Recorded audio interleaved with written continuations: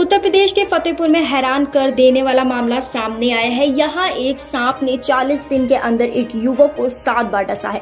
लेकिन अभी भी वह ज़िंदा है। सातवीं बार जब सांप ने युवक को काटा तो उसकी हालत नाजुक हो गई, जिसे शहर के एक निजी अस्पताल के आईसीयू में भर्ती कराया गया है। इलाज कर रहे डॉक्टर के मुताबिक अभी युवक की हालत चिंताजनक है। बारह से चौबीस घंटे बाद कुछ बता पाना मुमकिन होगा। परिजन भी इस किसी अनहोनी की आशंका में डरे सहमे हुए हैं। पीड़ित युवक को जब छठी बार सांप ने काटा था तो नया खुलासा किया था। युवक ने बताया था कि जिस रात सांप ने उसे काटा, उसी रात वो सांप मेरे सपने में भी आया था।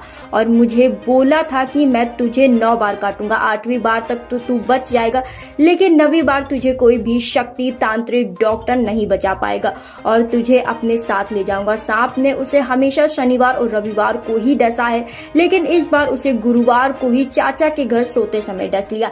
पूरा मामला मलवा थाना क्षेत्र के सौरा गाँव का है। बता दें कि सरपरदंश से पीड़ित 24 वर्ष विकास त्रिवेदी मलवा थाना क्षेत्र से सौरा गाँव में रहने वाला है, जिसे सांप ने 40 दिन के अंदर सात बार काट चुका है। बार बार सांप के काटने से पहले ही उसे खतरे का आभास हो जाता है। छठी बार तक सांप ने उसे शनिवार और रविवार के दिन ही काटा था, लेकिन इस बार सांप ने चाचा के घर पर रहते हुए गुरुवार को शाम को काट लिया, जिसके बाद परिजन ने विकास की हालत नाजुक देखते हुए शहर के एक निजी अस्पताल के आईसीयू में भर्ती कराया है। इलाज कर रहे डॉक्टर जवाहरलाल के मुताबिक 24 घंटे बाद ही युवक के हालत के बारे में बताना मुमकिन है। युवक का पहले भी छह बार इसी अस्पताल में इलाज किया गया है। परिवार के लोग अब की शनिवार और रविवार को विकास त्रिवेदी को नासिक और बालाजी ले जाने की योजना बना रहे थे। तभी गुरुवार की ही शाम करीब आठ बजे सोते समय डस लिया।